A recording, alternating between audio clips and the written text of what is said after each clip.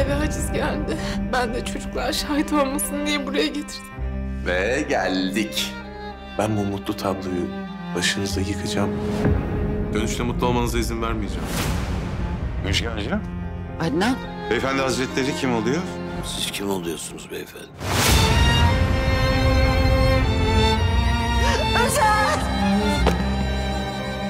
Anne! Götürdüler. Canımı götürdüler. Bak ben bu işe insanları evsiz bırakmak için girmedim. Vicdan muhasebesiyle işimiz yok. Uykusuz gecelerin çektiğin acıların hesabını da soracağız. Onlara karşı hiçbir iyilik borcun yok. Ya insanlar evsiz kaldılar ya.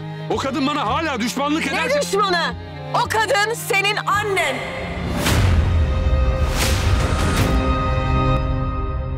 Üç Kız Kardeş yeni bölümüyle Salı akşamı Kanal D'de.